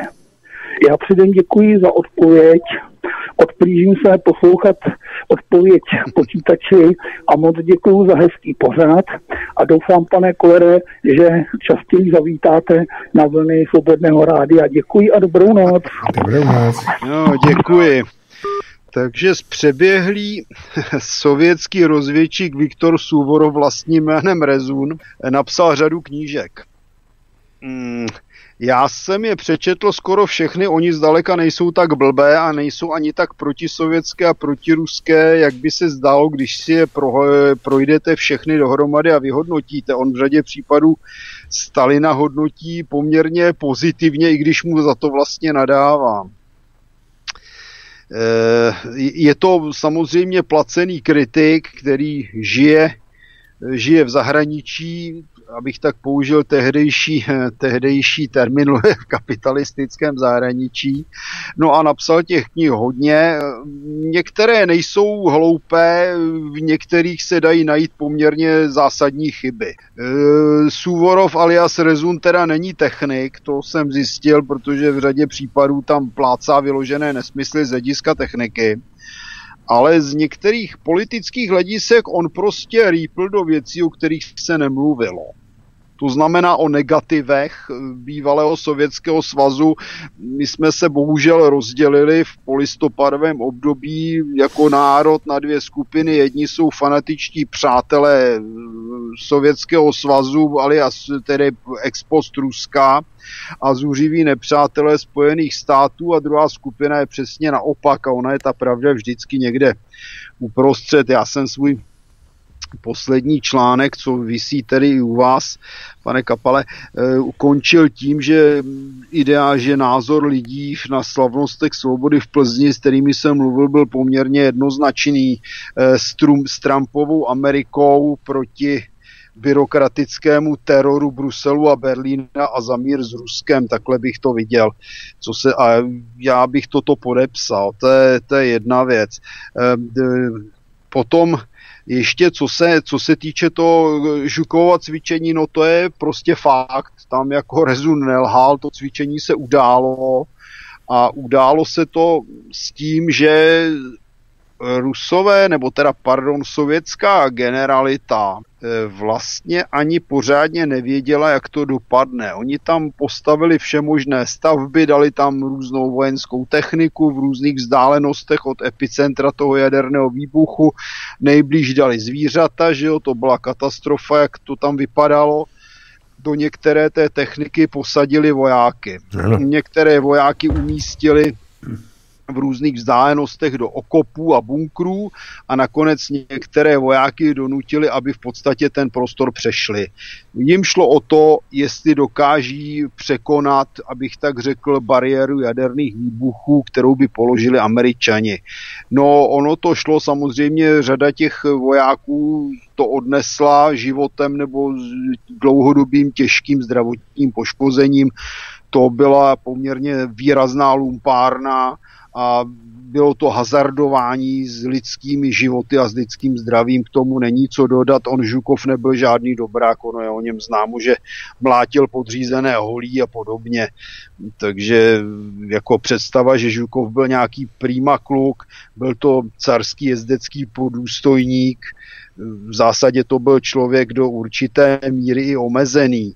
Když se podíváme, jemu chyběly, chyběly vojenské školy, a napáchal taky řadu chyb v rámci svého velení, ale uměl dobře vycházet se Stalinem a to z jednoho a prostého důvodu, protože celá e, vlastně, řekl bych, taková ta politická v rámci armády se dělila na dvě skupiny podle jízdních armád a Žukov byl zrovna v té jízdní armádě, kde kdysi, kdysi sloužil Stalin. Mm-hmm. A lidé z této armády byli přednostně povyšováni, zatímco ta druhá skupina, což byly částečně i kozácké útvary, tak ta byla zatlačena do pozadí a schytala to také i při těch politických čistkách ve 30. letech. E, takže ono, co se týče hodnocení Sovětského svazu je to trochu složité. My jsme tady byli vlastně od roku 48 pod jednostranou propagandou pro sovětskou, která zakrývala i negativa, protože každý stát má svoje historická negativa, neexistuje ideální stát, to je nesmysl. Každý stát má svoje klady, svoje zápory, každé společenské zřízení má svoje klady a svoje zápory.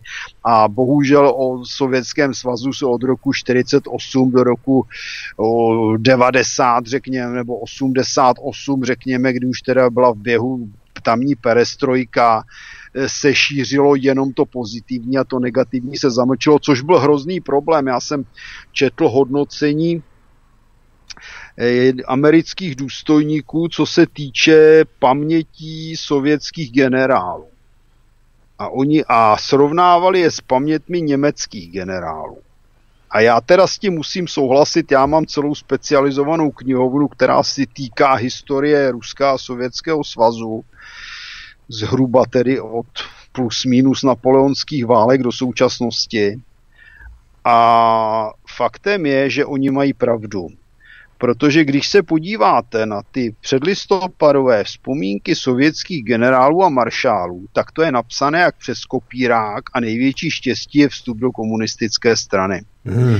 Masové hrdinství, keci, keci, keci. Hmm. O problémech v armádě se tam nedozvíte skoro nic.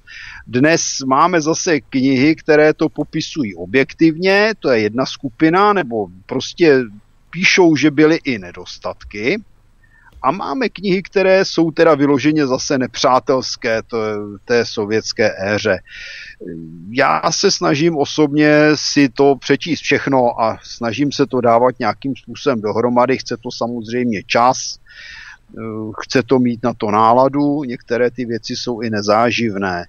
Vycházejme z toho, že prostě Rusko a Sovětský svaz má nějaké dějiny a že by se neměly posuzovat jednostranně ani pozitivně, ani negativně. Je to stát jako každý jiný a měl své pozitivní období, negativní období a v každém tom konkrétním období byly pozitivní a negativní faktory. Dneska se stále kritizuje to období vlastně od roku 21 do roku 40 nebo 41.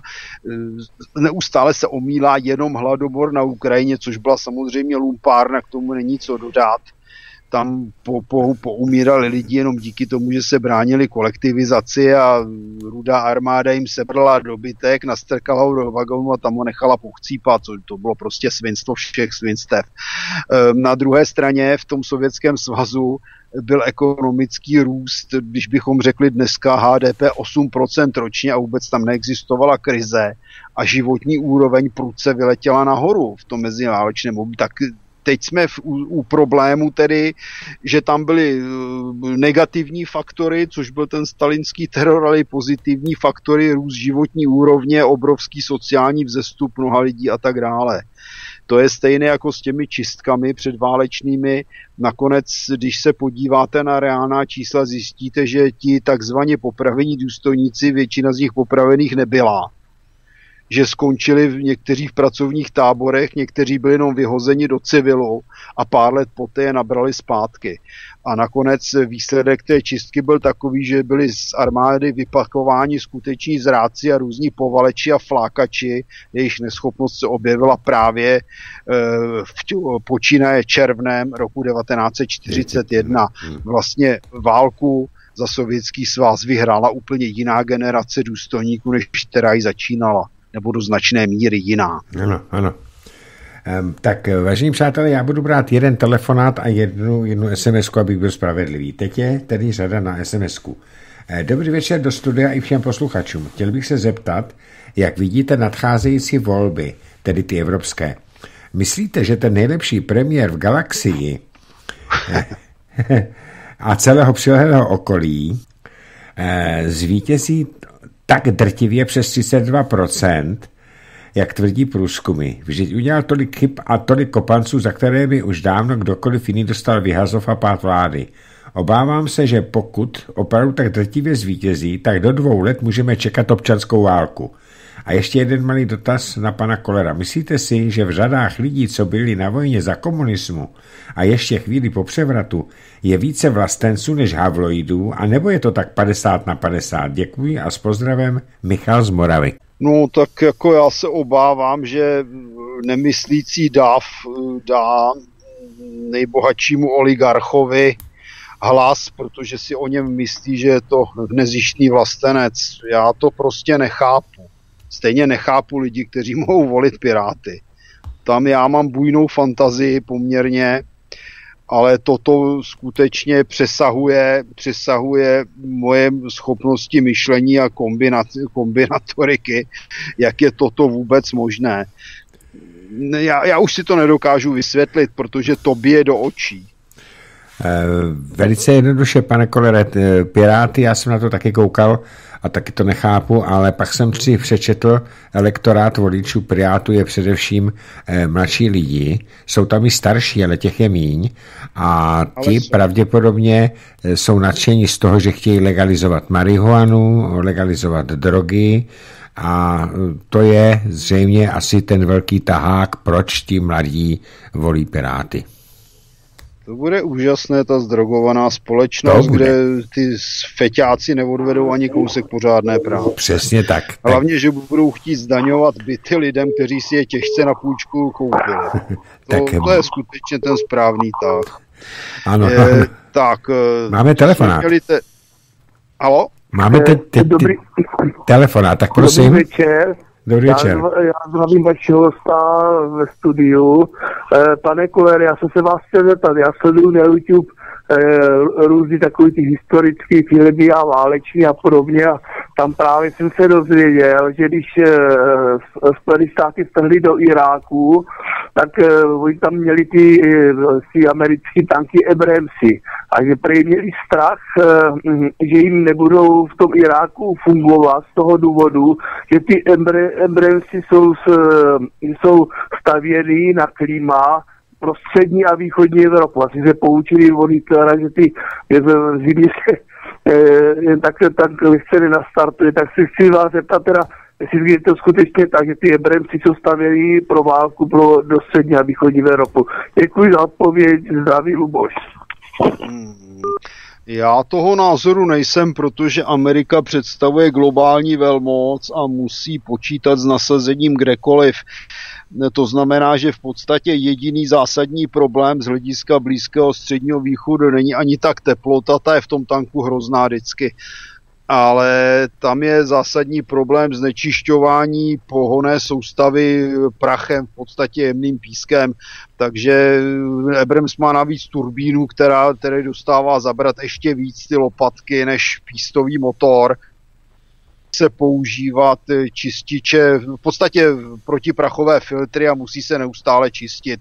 Ten tank potřebuje několik hodin, několik hodin údržby na hodinu jízdy ale to byl i problém stejný u letectva, tam když byla první válka v Galfu, tak se dostali do situace, že kdyby měla pokračovat ještě týden, tak jim letadla pomalu přestala létat, protože si měla poničené motory díky písku a zkrátili se jim resursy a měli s tím velké problémy.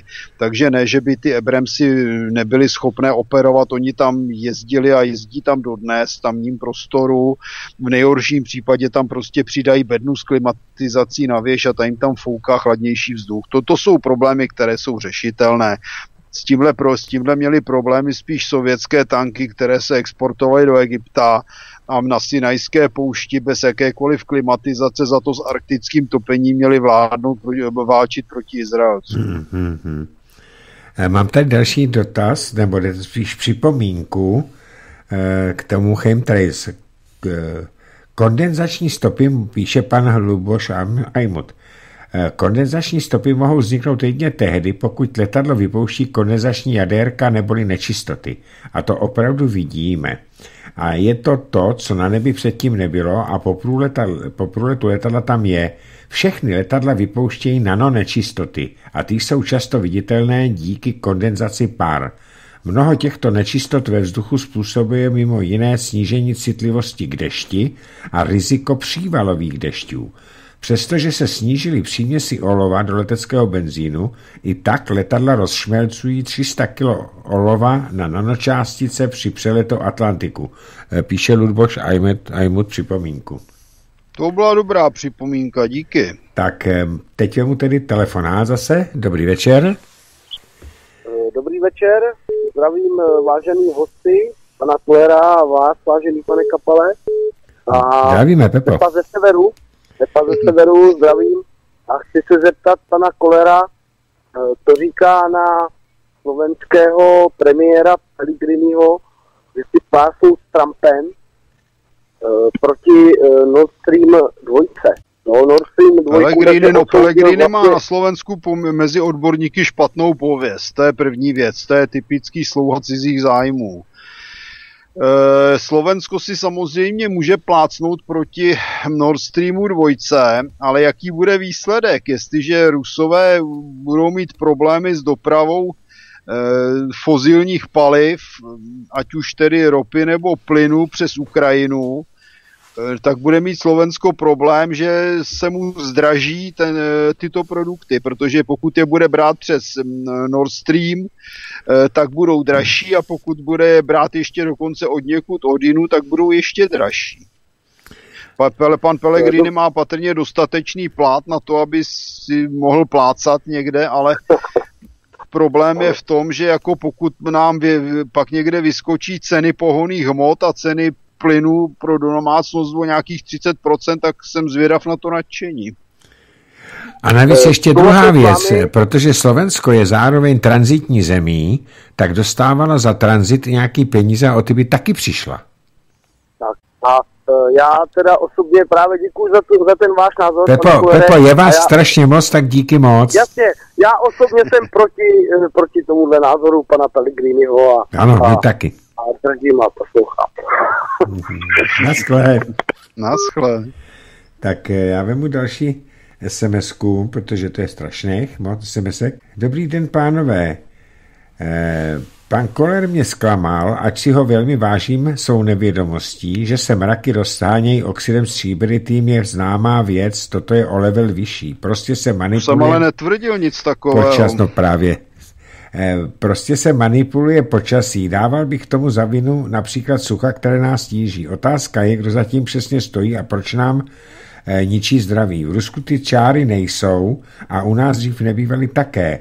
Ať si pan Koller zaspomíná, stačí sledovat oblohu. Bylo to i ve zprávách na primě. Dá se dohledat na YouTube, než to někdo jak, jak si zakáže.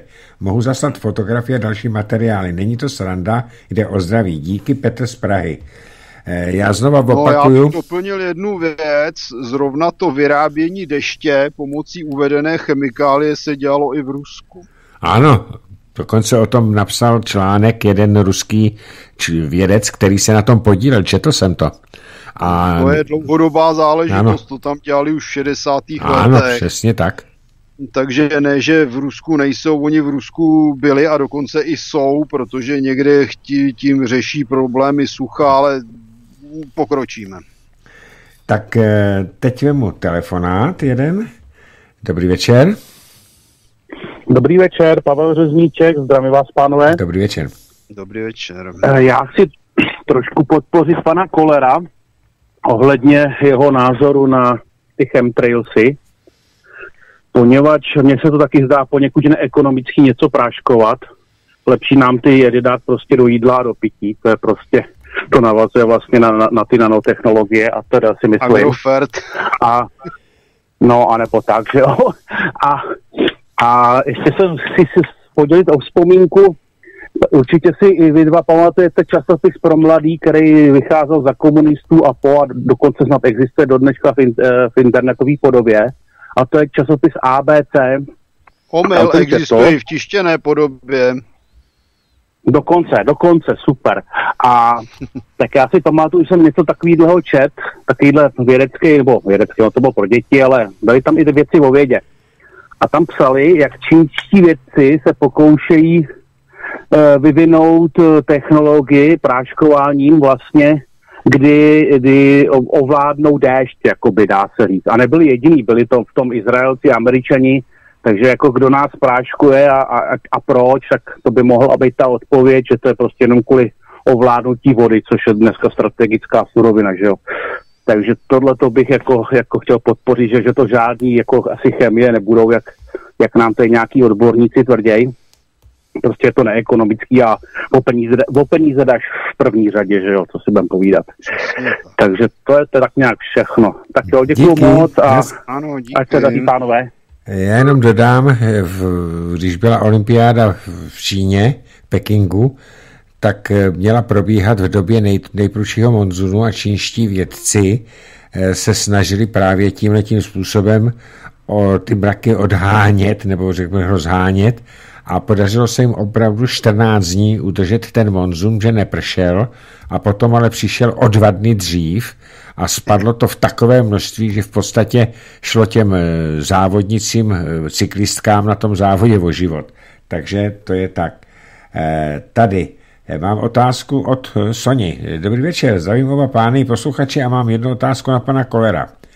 Vracím se k demonstracím proti paní Benešové. Vzhledem k jejich masivnosti a vyhrožování dalšími naskytá se mi otázka, kdo se tolik bojí této politické matadorky, že vykládá tolik prostředků. Milion chvilek je evidentně placen ze zahraničí, ale i domácími donátory. Je to bývalá garnitura ODS, ČSSD, TOP 09 a další, známá z minulých demonstrací této neziskovky. Kalousek, Němcová, Topolánek, Sobotka.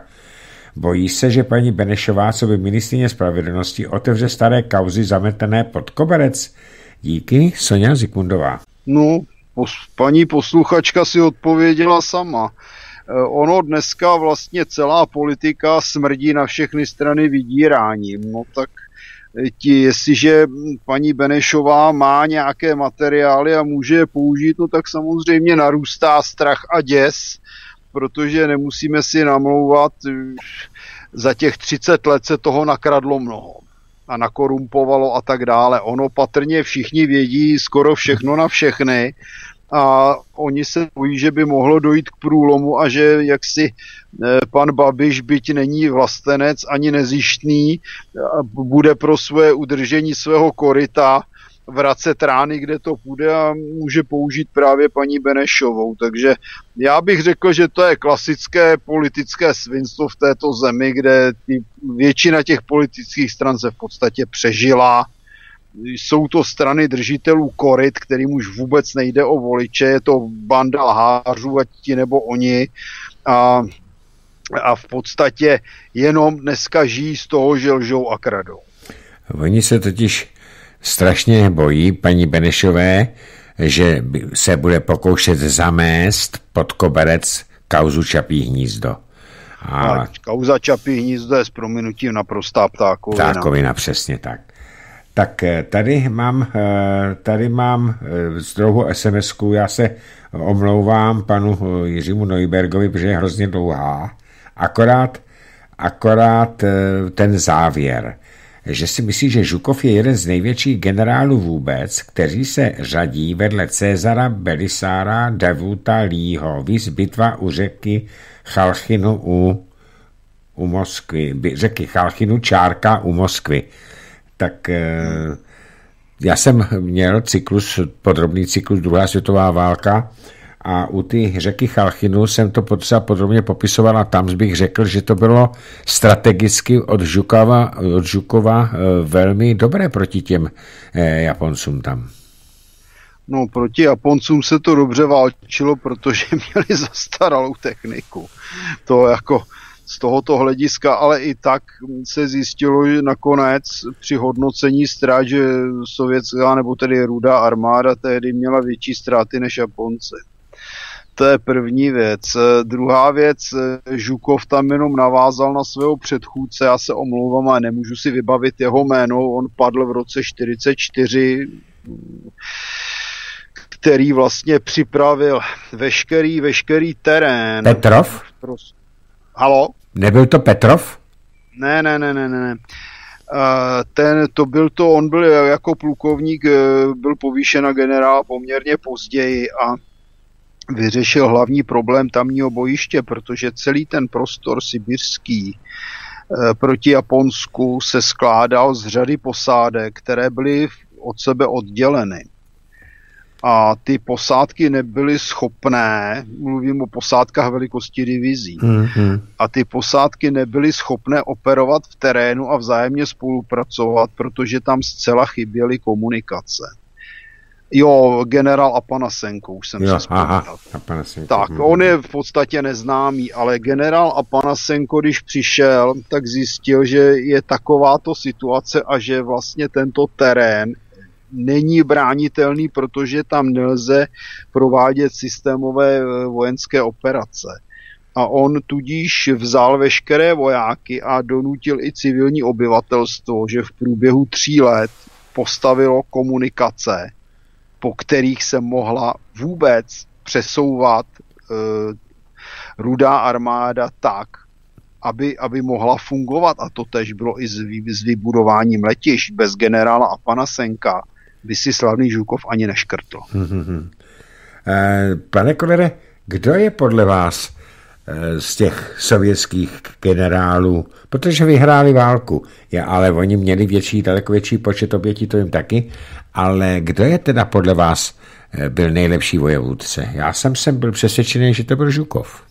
No, o Žukovovi se to píše, byl to nejúspěšnější vojevůdce, protože byl za dobře se Stalinem. Přece on dostal možnost dobít Berlín, zatímco Koněv byl odsunut. Ano, takže ano, ano, ano. To je známé, že jo. ano, to Koněv vím. pak dostal na závěr teda jako takovou náplast možnost osvobodit Prahu, Prahu nebo tedy ano no to jsou osvobození, že jo, to bylo Praha nebo Plzeň, v Plzni padli dva američané, jeden z nich se utopil, protože se opil a v Praze padlo 20, 20 příslušníků rudé armády, takže ono to s těmi strašnými boji nebylo, nebylo nějak divoké a z Plzně vlastně Němci odešli a z Prahy víceméně teda po té divoké několika denní bitvě s povstalci víceméně ty Němci už v době, kdy přišla rudá armáda, byli taky pryč. Jediný větší střed byl vlastně na Klárově, hmm. kde rozstřelili ten tank číslo 24 z německého samohybného děla Hetzer.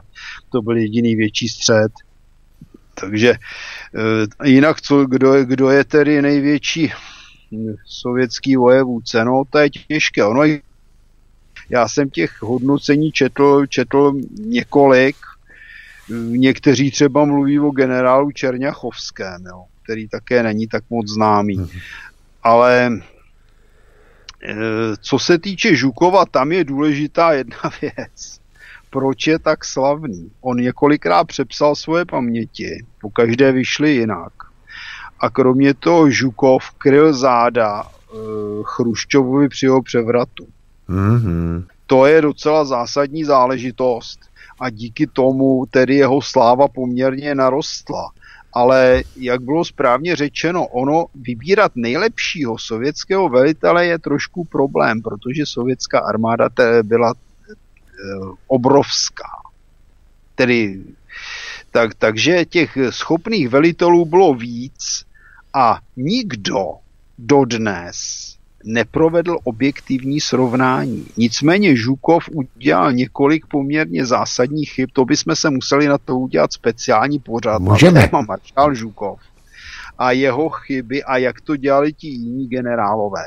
Ale ani Žukov nebyl bezchybný a konkrétně v roce 41 se dostal několikrát do situací, že zafungoval naprosto špatně což se zapomíná, protože on byl na tom vítězném konci, zatímco jiní tam nebyli. Mm-hmm. Jak jsem říkal, základ vítězství e, na Dálném východě položil generál Apanasenko. Tak ale o, o, tom, o tom si uděláme pořád e, speciální, protože to je velice zajímavý téma. E, mám tady další eh, sms -ku. Dobrý večer, pánové. Pane Kolere, ať už věříte na Chemtrails nebo ne, je možné, že Putin zakázal něco, co neexistuje a co rozbory vody po světě. Na vlastní oči jsme viděli, jak pilot při přistání zapomněl toto vypnout a sypal to na přistávací dráhu. S pozdravem Anna a Josef z Dolního Rakouska. Co sypal? Ne, nějaký prášek. Co bylo v tom rozboru vody? Tady nevím. No, vidíte, Já jenom to je, to je ale přesně ono tady se neustále čím si argumentuje a nikdo není schopen říct, co z toho teda sypou. Eh, tak já jsem četl takový článek eh, z Německa, kde tam bylo popsáno, co tam bylo. Bylo tam e, strašně moc bária, e, bylo tam naměřeno na zemi v té spadové vodě, bylo tam několikanásobně překročeny norm, normy plutonia a dalších a dalších. Byl tam zinek, e, byl tam hliník, a další, já si to slavy takhle přesně nepamatuju, ale byly tam především těžké kovy, které by se tam do té odpadové vody, která byla nachytána, eh, nemohly jinak dostat. Ale znova, jak říkám, eh, já bych chtěl sem dostat do studia paní profesorku Struneckou, která o tom dělala přednášky a má to vědecky podložené, tak uvidíme. Máte představu, když jste teďko popsal to, co se našlo údajně, kolik by to stálo? Nemám. Nemám. Máte představu, pane Kolere, kolik disponují ti globalisti, mám na mysli Rothschildy, Rockefellery, eh, kolika disponují penězi? Dobře, ale vemte si, že plutonium, kolik stojí? Já, že by s tím denně práškovali velké Já, neři, já nevím, jestli denně. Vzali? Ale Kde by je, ho vzali? Je to tam. E, jinak konkrétně četl jsem další článek o tom, že když dělali američani statosférické kosmické výbuchy, takže tam prouží, krouží to mm, asi 60 tun plutonia rozptýleného. Nebo 6 ano, tun. To je v pořádku, tak... no jestliže dělali kosmické výbuchy, teda údajně zase, kdy dělali jaderné výbuchy? V 60. letech. To není nikde, kdy? Asi v 60. letech to dělali. V době, A kdy... jsou někde doložené, protože to není nikde doloženo. Já jsem četl, že to bylo v době, kdy udělali francouzi pokus na atolu Bikini. Dobře, ale to je o něčem jiném. Já vím, že to bylo v té době, říkám, že ti američani dělali strategický, teda ty ve stratosféře dělali ty... Uh, jo, ve pokus, stratosféře ve... ano, ale ne v kosmu. Ne, já jsem myslel ve stratosféře tedy, no. Stratosféra je začátek, řekl bych. No, takže, takže ono, jak říkám, jestliže někdo tvrdí, že to žije v tom plutonium, tak si zkuste představit, kolik by stál náklad. To, a hlavně ten materiál není. Já vím, ale to zase není, třeba... Plutonium není něco, co se je někde na hrabe jako písek, písek v pískovně. Plutonium, barium, kdy to jsou cené kovy. Ano, jsou to cené kovy a nej, nej, najdou se všude. A teď si představte, že vám je někdo místo do průmyslu bude sypat na kokos. Eh, víte, oni jsou to, eh, oni jsou to strašně malé jednotky, které se rozptýlí. Ale já tady nechci dělat eh, debatu o tom, protože já nejsem odborník, já jsem o tom si jenom něco přečet a eh, připadá mi to, že to má logiku. Eh, já teda na chemtrails věřím, že to nás sypou, a je to proto, aby se ovlivňovaly myšlení lidí a všechno, aby byla malá porodnost a takovéhle věci, ale znova říkám, nechám to na odborníci, ať nám to tady buď potvrdí vědecky nebo vyvrátí. Takže já bych se raději vrátil k tomu, k těm SMSkám. Tady eh, zajímavý dotaz. Dobrý večer, pánové. Prosím vás, pane Kolere, jakou významnou bojovou techniku vyrábělo bývalé Československo nebo ČSSR? Vím, že to bylo IL-28, BVP-1, T-72, MiG-21, Kopáč a Tamara. Bohumír Gruber z, Bina, eh, z Brna. No, takže co jsme vyráběli a co jsme vyvíjeli, jsou dvě různé věci. My jsme vyráběli velk, poměrně široké spektrum sovětských licencí, což byly tanky T-34, T-55, různé jejich odvozeniny, eh, řada letounů MiG-15, eh, menší počet MiG-19, potom MiG-21, eh, Il-28 se u nás nedělali, dělali se u nás dopravní letouny třeba Il-14. Mm-hmm. Jinak tady je správně bylo, byl jmenován pasivní systém Kopáč, potom byla Ramona, potom byla Tamara. To byly československé patenty. Yeah. To je, to je třeba zajímavé. Důležité jsou proudové cvičné letouny L-29 Delfín, L-39 Albatros. Samonabíjecí pistole CZ-75, která znamenala novou éru, řekněme, do určité míry v oboru ručních zbraní a pistolí teda konkrétně. Potom, potom jsme se podíleli třeba s Poláky jsme dělali obrněný transporter OT-64, hmm. my jsme dělali ten strojový sporek, Poláci dělali tu korbu pancéřovou, potom se dělali potom se dělali různé, různé cvičné letouny, pístové nebo vrtulové, těch se vyrobilo obrovské množství, nebo lehké dopravní, třeba L410 Turbolet, ten se vyrábí dodnes. Morava se vyráběla. Morava L200, Morava ano. samozřejmě Aero 45, eh, celá řada cvičných letounů Z26 trenér až hmm. po 526 a 626 akrobat a podobně. Z50 akrobatický letoun. Důležité jsou nákladní automobily mezinárodní úspěchy Tatra 111, hmm. Tatra, 130, Tatra 138, 148, zase slavná Tatra 813 Kolos, hmm. hmm. Tatra 815. To jsou, to jsou poměrně značné úspěchy. Na druhé straně jsme třeba nevyvíjeli nějak výrazně rakety, protože jsme to měli zakázané v rámci Varšavské smlouvy, nevyvíjeli jsme radary, proto se přešlo na ty pasivní systémy, o kterých jsem mluvil. Nedělali jsme sériově malé terénní automobily, to si se zabral sovětský svaz, že jo, GAZ 69, UAZ 452. Ano, ano. Takže měli jsme určité oblasti, což je, řekněme, ta pasivní lokace, letectvo, řekněme tedy hlavně tedy oblast cvičných proudových a cvičných vrtulových letounů. Měli jsme úspěch i v ručních zbraních, ať už to tedy byl samopal vzor 23, 25, 24, 26, to znamená pumpička. Mm-hmm. U příkladu. Znám. Ano, potom, já nevím, třeba teleskopická pancéřovka RPG 75, dělalo se, dělalo se řada dobrých věcí. Já doufám, že jsem příliš nezapomněl na všechno takhle v rychlosti, protože to, to, to tak nějak rychle pátrám. A na druhé straně jsme byli hodně závislí tedy na sovětských licencích, ať to byly tanky téčkové, ať to byly bojová vozidla pěchoty, ale například samohybné dělo, Zor 77 Dana, to bylo něco unikátního ve své době, stále dobrá zbraň, potřebuje akorát delší hlaveně a nějaké úpravy, to udělali dneska na Slovensku, protože tam se to vlastně především vyvíjelo a vyrábělo.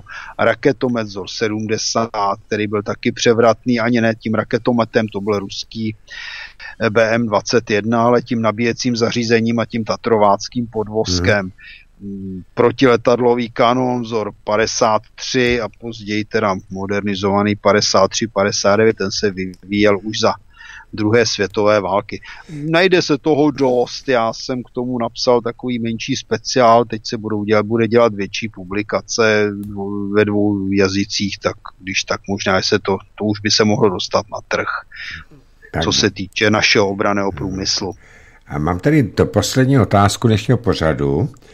Eh, protože to je součástí té SMSky, jak si stojí svojí úrovní moderní útočná puška Bren vzhledem k zahraničním typům ve výzbroji jiných zemí, ptá se Bohumír Gruber z Brna.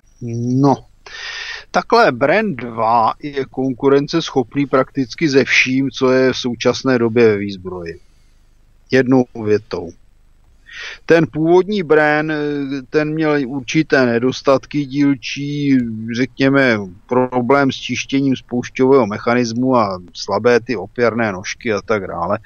Ale brand 2 je skutečně konkurenceschopný se vším, co se po světě vyrábí. Takže to bylo dnešní povídání s panem Kolerem a my si spolu uděláme, pane Kolero, eh, jeden speciální pořad o těch Eh, o tom Žukovovi a vůbec o těch ruských eh, generálech, protože eh, já jsem až do dneška, když jste mi říkal ty informace, ty jsem nikde totiž nedohledal.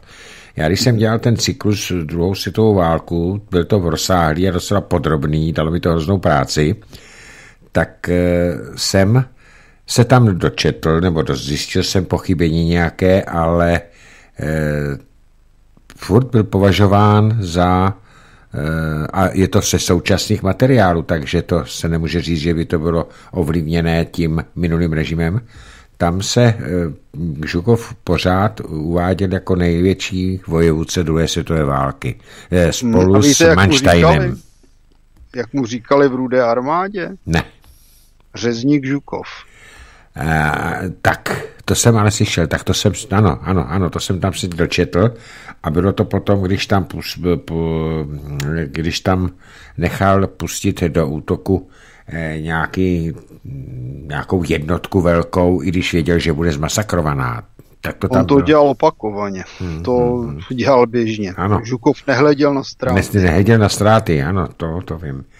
Eh, pane Kolere, díky, že jsi si na nás udělal čas a já se zase tak za tři neděle ozvu, abychom si... To už bude po volbách, ne? To už bude po volbách, nebo to uděláme ještě před volbama, že bychom si udělali, eh, že bychom si udělali takovou prognózu, jak to dopadne, co vy na to? Tak ono ještě halda věcí, které jsme neprobrali dnes. To je pravda. Ono to, ne to. Já se vám ozvu a domluvíme se ještě před volbama tedy, jo? Dobře, zkusíme tak to. Jo. Takže děkuji všem, že měli trpělivost mě poslouchat.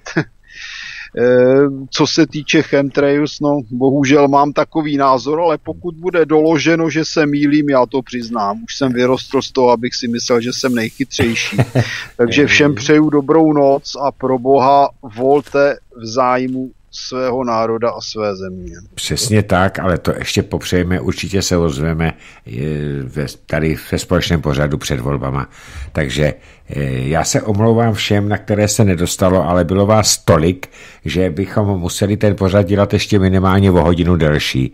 Takže budeme ho mít teďka dřív, já se s panem Kolerem domluvím a eh, pak to můžete zopakovat. Pane Kolere, díky, že jste si na nás udělal čas a budu se těšit zase na příště. Bylo mi ctí, nashledanou. Nashledanou, dobrou noc. Tak vážení přátelé, to bylo dnešní povídání, dnešní pořad s panem Martinem Kolerem a protože e, jsme si povídali tady o té válce, e, povídali jsme si o tom, co nás tady, co nás tady ohrožuje, tak já pustím, teď ji tady hledám písničku, eh, která snad nebude